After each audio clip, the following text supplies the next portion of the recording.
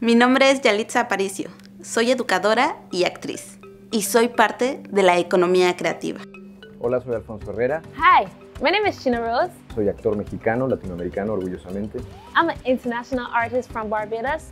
Y yo también formo parte de la economía naranja. I just want to share that I am a part of the creative economy. Somos Papalca Perú y todos somos Economía Naranja. ¿Y tú?